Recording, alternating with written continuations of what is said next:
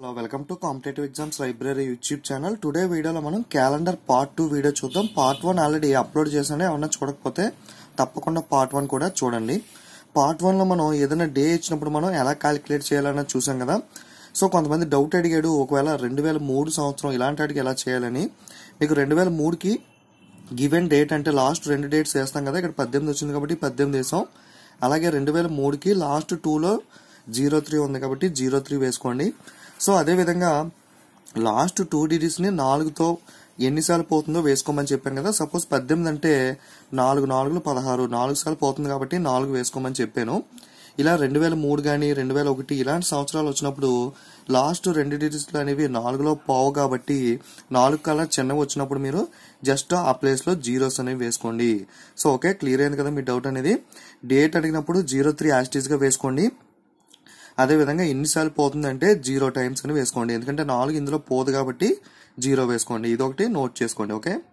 ఉపయోగకుడు ఒక సంబంధం చూద్దాం. And which day of March two thousand three did Tuesday falls okay? March రెండు వేల మూడవ సంవత్సరంలో మార్చి నెలలో మనకి ఏ రోజు ట్యూస్డేస్ అనేవి వస్తాయి? మార్చ్ రెండు వేల మూడులో ఏ తారీఖుల్లో మంగళవారం అనేది వస్తుంది? ఆ డేట్స్ అనేవి మనం కనుక్కోవాలన్నమాట. సో దీనికి ఫస్ట్ ఏం చేయాలంటే మనకి డేట్ అనేది ఇవ్వలేదు ఇక్కడ. మార్చ్ నెల మాత్రమే ఇచ్చాడు. సో ఫర్ ఎగ్జాంపుల్ మీరు ఒకటో తారీఖు తీసుకోండి. మార్చ్ ఒకటి రెండు వేల మూడు అని చెప్పి తీసుకోండి. ఓకే సో మనం ఫస్ట్ పార్ట్లో ఏ విధంగా అయితే మనం చేసామో సో ఫస్ట్ ఆ ప్రాసెస్ అనేది చేయండి. ఫస్ట్ గివెన్ డేట్ అనేది వేసుకోవాలి. ఓకే గివెన్ డేట్ అనేది మనకి మార్చ్ ఒకటి కాబట్టి జీరో వన్. అదేవిధంగా మంత్ కోడ్. మార్చ్ మంత్కి మనకి కోడ్ ఎంత? మార్చ్ మంత్కి మనకి కోడ్ వచ్చి మూడు కాబట్టి మార్చ్ మంత్ కోడ్ వచ్చి మూడు వేసుకుంటాం. అలాగే లాస్ట్ టూ డిజిట్స్ అంటే జీరో త్రీ అనేది లాస్ట్ రెండు డిజిట్లు వేసుకుంటాం. సో నెక్స్ట్ రెండు వేల మూడు. మీకు చెప్పాను కదా ఇందాకే. నాలుగు అనేది మూడులో పోదు కాబట్టి జీరోస్ అనేది వేసుకోండి. అలాగే సెంచరీ కోడ్ అనేది మనకి సిక్స్ కదా. సో సిక్స్ అనేది వేసుకోండి. సో మొత్తం టోటల్ చేద్దాం. ఆరు ఆరు పన్నెండు ప్లస్ ఒకటి పదమూడు. సో పదమూడు వచ్చాక మనం ఏం చేయాలి? పదమూడుని మనం ఏడుతో భాగించి రిమైండర్ వేసుకోవాలి. ఓకే సో మనకి ఏడుని పదమూడుతో భాగిస్తే ఏడు ఒకట్లు ఏడు. సో రిమైండర్ అనేది ఎంత మిగిలింది మనకి? రిమైండర్ అనేది ఆరు మిగిలింది. సో మనకి ఆరు అనేది కోడ్. సో ఆరు అంటే మనకి ఎంత? సాటర్డే. సో మనకి మార్చ్ ఒకటి ఎప్పుడు వచ్చింది అంటే సాటర్డే వచ్చింది. ఓకే? సో మార్చ్ ఒకటి రెండు వేల మూడు అనేది మనకి శనివారం రావడం జరిగింది. కానీ మనకి మంగళవారం చూసే అనేది కావాలి. ఒకటో తారీఖు మనకి శనివారం అయితే రెండో తారీఖు ఏమవుతుంది? ఆదివారం అవుతుంది. మూడో తారీఖు సోమవారం అవుతుంది. నాలుగో తారీఖు అనేది మనకి మంగళవారం అవుతుంది ఓకే? సో ఫస్ట్ తారీఖు సాటర్డే అని మనం కనిపెట్టాం. సో తర్వాత రెండో తారీఖు ఆదివారం మూడో తారీఖు సోమవారం నాలుగో తారీఖు మంగళవారం. అంటే మార్చి నాలుగో తారీఖు మనకి మంగళవారం అని చెప్పి తెలిసింది. ఓకే మనకి ఈరోజు మంగళవారం వచ్చిందంటే మళ్ళీ నెక్స్ట్ మంగళవారం ఎప్పుడు వస్తుంది? ఇంకొక వారం రోజులకి వస్తుంది. అంతే కదా? సో అంటే మనకి దీనికి నాలుగుకి ప్లస్ సెవెన్ యాడ్ చేసుకుంటే సరిపోతుంది. ఓకే సో నాలుగు ప్లస్ లెవెన్ యాడ్ చేసుకుంటే మనకి పదకొండు. అంటే మళ్ళీ పదకొండు మంగళవారం వస్తుంది అదే మంత్లో. సో నెక్స్ట్ మళ్ళీ పదకొండుకి ఏడు యాడ్ చేసుకుంటే పద్దెనిమిది. సో పద్దెనిమిదికి ఏడు యాడ్ చేసుకుంటే ఇరవై ఐదు. సో మార్చ్లో మనకి మార్చ్ రెండు వేల మూడు. ఈ మార్చ్ మంత్ రెండు వేల మూడులో ఫస్ట్ మంగళవారం మనకి నాలుగో తారీఖు వస్తుంది తర్వాత పదకొండు తర్వాత పద్దెనిమిది తర్వాత ఇరవై ఐదు ఈ నాలుగు తేదీల్లో మనకి మంగళవారం అనేది వస్తుంది. సో ఓకే అర్థమైంది కదా? ఈ టైప్ ఆఫ్ సమ్స్ అనేవి ఇచ్చి మీకు మార్చి రెండు వేల మూడు డేట్లో మంగళవారం ఎప్పుడెప్పుడు వస్తుంది లేదా సోమవారం ఎప్పుడెప్పుడు వస్తుంది?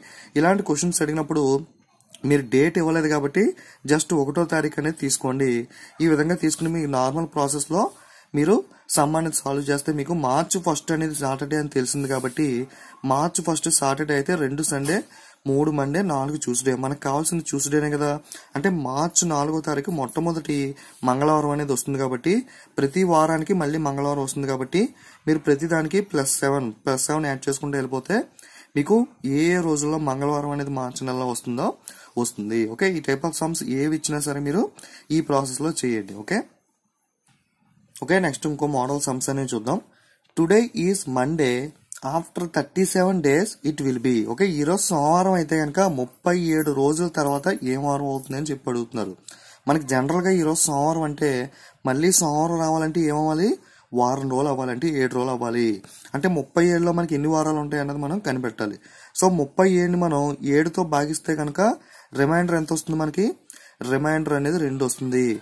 మనకి ఏమి ఇచ్చాడు? టుడే మండే సోమవారం అన్నాడు. ఈ మండేకి ప్లస్ టూ యాడ్ చేసుకుంటే మనకి వెడ్నెస్డే అనేది వస్తుంది. అంటే మనకి ముప్పై ఏడు రోజుల తర్వాత ఏ రోజు వస్తుంది? వెడ్నెస్డే ఓకే చాలా సింపుల్ ఈ సమ్ అనేది. జస్ట్ మీరు ముప్పై ఏడు ఇచ్చినప్పుడు ఏడుతో భాగించండి. భాగించాక రిమైండర్ అనేది ఎంత వస్తుందో ఆ రిమైండర్ని ఇచ్చిన డేట్కి అంటే సోమవారం ఇచ్చాడు కాబట్టి సోమవారానికి రెండు రోజులు యాడ్ చేస్తే బుధవారము వెడ్నెస్డే అనేది ఆన్సర్ అవుతుంది. సో లేదా మీకు ఏడు అనేది మల్టిపుల్ దగ్గరలో ఎక్కడ ఉందో చూసుకోండి. ముప్పై ఏడు అనేది ఉంది. ఏడు ఏకం ముప్పై ఏడుకి దగ్గరలో ఎక్కడ ఉంది ఐదు సార్లు పోతుంది. అంటే ఏడు ఐదులు ముప్పై ఐదు.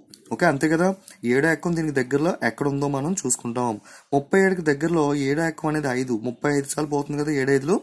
కాబట్టి మనకి ఈ ముప్పై ఐదో రోజు అనేది ఖచ్చితంగా సోమవారం వస్తుంది. మనకి వారానికి ఒకసారి సోమవారం వస్తుంది కాబట్టి మొదటి వారం అంటే ఏడు రోజులు అయ్యాక అలా ఐదు వారాలు ఐదేళ్ళు ముప్పై ఐదు వచ్చిన తర్వాత మళ్ళీ సోమవారం అనేది వస్తుంది. మీకు ఏ డేట్ ఇచ్చినా సరే ఈ విధంగా ఏడు దగ్గరలో ఉన్నది మల్టిపుల్ తీసుకుంటే ముప్పై ఐదు ఉంది కాబట్టి ముప్పై ఐదు సోమవారం వచ్చిందంటే ముప్పై ఆరు మనకి మంగళవారం వస్తుంది. ముప్పై ఏడు అనేది బుధవారం వస్తుంది. ఓకే సో ఇలా కూడా మీరు సింపుల్గా చేయొచ్చు. ఓకే సో మీరు ఇచ్చిన తేదీకి ఏడు దగ్గరలో గుణాంకం ఎక్కడ ఉందో చూసుకుంటారు. ఏడు ఐదులు ముప్పై ఐదు అనేది దగ్గరగా ఉంది కాబట్టి మళ్ళీ ముప్పై ఐదు రోజులకి మళ్ళీ సోమవారం వస్తుంది. ముప్పై ఆరో రోజు మంగళవారం. అంటే మనకి ట్యూస్డే వస్తుంది. మనకు కావాల్సింది ఏంటి? ముప్పై ఏడో రోజు కాబట్టి వెడ్నెస్డే అనేది మనకి ఆన్సర్ అవుతుంది. ఓకే? ఈ రెండు మెథడ్లో మీరు ఏదో ఒకటి ఏది కన్వీనెంట్ ఉంటే అది ఫాలో అవ్వండి. ఓకే? క్లియర్గా అర్థమైంది కదా? ఓకే? సో ఏం లేదు. టుడే మండే అని థర్టీ సెవెన్ డేస్ తర్వాత ముప్పై ఏడు రోజుల తర్వాత ఏమవుతుందంటే మీరు ముప్పై ఏడుని ఏడుతో డివైడ్ చేసి రిమైండర్ చూసుకుని ఆ మండేకి ఆ రిమైండర్ని యాడ్ చేసుకుంటే సరిపోతుంది. ఓకే లేదా ముప్పై ఏడుకి దగ్గరలో ఏడు మల్టిపుల్ చూసుకోండి. ముప్పై ఐదు. సో ముప్పై ఐదు సోమవారం అవుతుంది కాబట్టి ముప్పై ఆరు మంగళవారం ముప్పై ఏడు బుధవారం అనేది అవుతుంది. ఓకే ఇంకో సమ్ అనేది చూద్దాం. మీకు క్లారిటీ అనేది వచ్చేస్తుంది. Okay next question today is Monday after sixty days it will be okay ఈరోజు సోమవారం అయితే అరవై రోజుల తర్వాత ఏమవుతుంది? సో అరవై అనేది మనకి ఏడు మల్టిపుల్స్లో ఎక్కడ దగ్గరగా ఉంది? ఏడు తొమ్మిదిలు అరవై మూడు. అంటే మనకి అరవై మూడో రోజు ఏమవుతుంది? తిరిగి సోమవారం అవుతుంది. కానీ మనకు కావాల్సింది ఏంటి అరవై రోజు కావాలి. అంటే వెనక్కి వెళ్దాం మనం. అరవై రెండు ఏమవుతుంది ఆదివారం అవుతుంది. అరవై ఒకటి మనకి ఓకే అరవై ఒకటి మనకి శుక్రవారం అవుతుంది. సారీ శనివారం అవుతుంది. అరవై మనకి శుక్రవారం అవుతుంది. ఓకే సో అరవై మూడు అనేది మనకి. అరవైకి దగ్గరలో ఏడు మల్టిపుల్ ఎక్కడ ఉంది? అరవై మూడు దగ్గర ఉంది. అంటే అరవై మూడు మనకి మండే అవుతుంది. అరవై రెండు మనకి సండే అవుతుంది. అరవై ఒకటి మనకి సాటర్డే అవుతుంది అరవై మనకి ఫ్రైడే అవుతుంది. అంటే మనకు కావాల్సింది ఏంటి? అరవై రోజుల తర్వాత అని అడిగాడు కాబట్టి మనకి ఫ్రైడే అనేది ఆన్సర్ అవుతుంది. సో ఏం లేదు మనం ఇప్పుడు జస్ట్ వెనక్కి వెళ్ళాం. మనకి ముందుకు వెళ్ళాలంటే ఏడుకి మల్టిపుల్ ఎక్కడ ఉంది? యాభై ఆరు దగ్గర ఉంది. అంటే యాభై ఆరు దగ్గర నుండి మనం అరవైకి ముందుకు వెళ్ళాలన్నమాట. సో ఈ వెనక్కన్నా వెళ్ళొచ్చు. మీకు ఇక్కడ మల్టిపుల్ అనేది ఎక్కడ దగ్గరగా ఉంటే మీరు దాన్ని బట్టి చెక్ చేసుకోవచ్చు. ఓకే? సో అరవై మూడు సోమవారం కాబట్టి మనకి వెనక్కి దగ్గరలో అరవై ఉంది కాబట్టి అరవై కాబట్టి ఫ్రైడే అని చేయొచ్చు. లేదా మీకు అరవై బై ఏడు వేసుకుని రిమైండర్ ఎంత ఉందో చెక్ చేసుకుని ఆ మెథడ్లో అయినా సరే చేసుకోవచ్చు. ఓకే? క్లారిటీగా అర్థమైంది కదా? చాలా సింపుల్ టైప్ ఆఫ్ సమ్స్ ఇవి. ఓకే ఈ మెథడ్ కూడా ఒకసారి చూద్దాం. అరవైని మనం ఏడుతో భాగిస్తే రిమైండర్ అనేది నాలుగు వస్తుంది. అంటే మనకి ఏంటి? ఇచ్చిన రోజు మండే అన్నాడు. మండేకి ప్లస్ ఫోర్ యాడ్ చేసుకోవాలి. ఓకే? మండే అంటే Tuesday Wednesday Thursday Friday okay so Friday అనేది మనకి ఆన్సర్ అవుతుంది. మీకు ఏ మెథడ్ అనేది ఈజీగా ఉంటే ఆ మెథడ్ అనేది ఫాలో అవ్వండి. ఈ మెథడ్ కానీ ఈ మెథడ్ కానీ ఓకే ఓకే నెక్స్ట్ మోడల్ సంబంధించి చూద్దాం. On eighteenth May nineteen ninety seven falls on Friday then what was the day on eighteenth May nineteen ninety eight మనకి పద్దెనిమిది మే పంతొమ్మిది వందల తొంభై ఏడో రోజు అనేది శుక్రవారం వస్తే కనుక పద్దెనిమిది మే నైన్టీన్ నైన్టీన్ ఎయిటీ రోజు ఏ వారం అనేది వస్తుంది. సో మీకు స్టార్టింగ్లో కాన్సెప్ట్ చెప్పుకున్నప్పుడు పార్ట్ వన్లో చెప్పాను కదా. నార్మలీ ఇదైతే మనకి వన్ ఆడ్ డే వస్తుంది. లీప్ ఇయర్ అయితే టూ ఆడ్ డేస్ వస్తాయి. ఇది బాగా గుర్తుపెట్టుకోండి. ఈ కాన్సెప్ట్ అనేది మనకి ఈ టైప్ ఆఫ్ సమ్స్లో యూజ్ అవుతుంది ఓకే ఓకే మనకు క్వశ్చన్ ఏమి ఇచ్చాడు? పద్దెనిమిది మే పంతొమ్మిది వందల తొంభై ఏడు ఫ్రైడే శుక్రవారం అయితే పద్దెనిమిది మే పంతొమ్మిది వందల తొంభై ఎనిమిది అంటే కరెక్ట్గా ఎగ్జాక్ట్గా ఒక సంవత్సరం తర్వాత ఏ రోజు అవుతుంది అని అడిగాడు. మనకి ఫస్ట్ ఇచ్చింది నార్మల్ ఇయరా లీప్ ఇయర్ అని చెక్ చేసుకోవాలి. మనకి లీప్ ఇయర్ నార్మల్ ఇయర్ అని ఎలా చూసుకుంటాం? లాస్ట్ రెండు డిజిట్లు నాలుగుతో భాగించినప్పుడు ఎగ్జాక్ట్గా పోతే అది లీప్ ఇయర్ ఓకే ఒకవేళ సున్నాస్ అనేవి ఉంటే సపోజ్ రెండు వేల లాంటివి ఉంటే మొత్తాన్ని నాలుగు వందలతో భాగించాలి. సో ఈ రెండు కూడా మనకి లీప్ ఇయర్స్ అనేవి కాదు. కాబట్టి నార్మల్ ఇయర్లో మనకి ఎన్ని ఆడ్ డేస్ ఉంటాయి? వన్ ఆడ్ డే అనేది ఉంటుంది. లీప్ ఇయర్లో టూ ఆడ్ డేస్ అనే ఉంటాయి. ఇక్కడ నార్మల్ ఇయర్ కాబట్టి మనకి వన్ ఆడ్ డే ఉంటుంది. అంటే మనం జస్ట్ సింపుల్గా ఒకటి ప్లస్ చేయాలి. అంటే ఫ్రైడేకి ఒకటి ప్లస్ చేస్తే ఏమొస్తుంది? సాటర్డే అంటే మనకి eighteenth May nineteen ninety eight మనకి ఏ రోజు వస్తుంది? సాటర్డే అనేది వస్తుంది. లీప్ ఇయర్ వచ్చినప్పుడు మనకి ఫిబ్రవరిలో ఇరవై తొమ్మిది రోజులు అంటే ఒక రోజు ఎక్స్ట్రా వస్తుంది కాబట్టి టూ ఆడ్ డేస్ అనేవి వస్తాయి కాబట్టి మనకి ఒక రోజు ఎక్స్ట్రా వస్తుంది. మీకు ఎప్పుడైనా లీప్ ఇయర్ వచ్చినప్పుడు మీ బర్త్డే డేట్ కానీ ఏదైనా గమనించండి. మీరు ఈరోజు బర్త్డే మండే చేసుకుంటే నెక్స్ట్ ఇయర్ బర్త్డే అనేది కూడా మీకు ఏ రోజు వస్తుంది? ట్యూస్డే అనేది వస్తుంది. అంటే ఒక రోజు ప్లస్ అవుతుంది అనమాట ఒకవేళ మధ్యలో ఎప్పుడైనా లీప్ ఇయర్ అనేది వస్తే మీ బర్త్డే నెక్స్ట్ ఇయర్ ఎప్పుడు వస్తుంది? బుధవారం అనేది వస్తుంది. అంటే ఇయర్లో మీకు మండే వస్తే నెక్స్ట్ ఇయర్ బుధవారం వస్తుంది. ఒక రోజు జంప్ అవుతుంది. ఎందుకు? లీప్ ఇయర్లో ఫిబ్రవరి ఇరవై తొమ్మిది రావడం వల్ల. అంటే ఒక రోజు ఎక్స్ట్రా రావడం వల్ల. Okay simple concept. మీకు ఏం లేదు. నార్మల్ ఇయర్ అంటే వన్ డే యాడ్ చేసుకోవాలి. ఓకే ఇవి రెండు నార్మల్ ఇయర్సే కాబట్టి ప్లస్ వన్ యాడ్ చేసుకోండి. అంటే ఫ్రైడే కాబట్టి ప్లస్ వన్ యాడ్ చేస్తే సాటర్డే అనేది ఆన్సర్ వస్తుంది. ఒకవేళ లీప్ ఇయర్ అయితే ఇక్కడ ప్లస్ టూ యాడ్ చేసుకుంటారు. అప్పుడు మీకు సండే అనేది ఆన్సర్ వస్తుంది. ఓకే అర్థమైంది కదా? ఓకే ఇంకో క్వశ్చన్ అనేది చూద్దాం. జనవరి రెండు రెండు వేల ఏడు మండే అయితే కనుక జనవరి రెండు రెండు వేల ఎనిమిది ఏ రోజు అవుతుంది? January two two thousand seven was Monday what day of the week lies on January two two thousand eighteen okay so same problem మనకి లీప్ ఇయర్ కాదో? చెక్ చేసుకోవాలి. రెండు వేల ఎనిమిది అనేది మనకి ఎనిమిది నాలుగులో రెండు సార్లు పోతుంది కాబట్టి లీప్ ఇయరే. కానీ మనకి గుర్తుపెట్టుకోవాల్సింది ఏంటంటే లీప్ ఇయర్ అయిన వెంటనే మనం రెండు డేస్ యాడ్ చేసేయడం కాదు. ఈ రెండిటికి మధ్యలో లీప్ ఇయర్ అనేది వస్తుందా లేదా? మనకి జనవరి తర్వాత ఫిబ్రవరి అనేది వస్తుంది. ఈ మధ్యలో మనకి ఫిబ్రవరి వస్తుందా లేదా అనేది చెక్ చేసుకోవాలి. ఇంపార్టెంట్ గుర్తుపెట్టుకోండి. ఈ రెండింటికి మధ్యలో ఫిబ్రవరి వస్తేనే మనకి డేస్ అనేవి తేడా వస్తాయి. ఎందుకంటే ఫిబ్రవరి ఇరవై తొమ్మిది వస్తుంది. మనం ఒక రోజు ఎక్స్ట్రా డే లెక్క పెట్టాలి. కానీ ఇక్కడ జనవరి తర్వాత ఫిబ్రవరి వస్తుంది. ఇది లీప్ ఇయరే కానీ జనవరి వచ్చింది కాబట్టి మనకి ప్రాబ్లం లేదు. అంటే నార్మల్ ఇయర్ కానీ మనం నార్మల్ ప్రాసెస్లోనే చేయొచ్చు. ఒకవేళ మీకు ఇక్కడ మార్చ్ అడిగితే ఫిబ్రవరి తర్వాత అడిగితే కనుక అప్పుడు మీరు టూ డేస్ అనేవి యాడ్ చేయాలి. ఓకే సో ఇది లీప్ ఇయర్ అయినప్పటికీ జనవరి అడిగాడు కాబట్టి మనకి same process plus one odd day అంటే నార్మల్ ఇయర్కి వన్ ఆర్ డే ఉంటుంది కాబట్టి ప్లస్ వన్ యాడ్ చేసుకుంటాం. మండేకి ఒక రోజు యాడ్ చేస్తే ఏంటి? ట్యూస్డే మంగళవారం అనేది మనకి కావాల్సిన ఆన్సర్ అవుతుంది.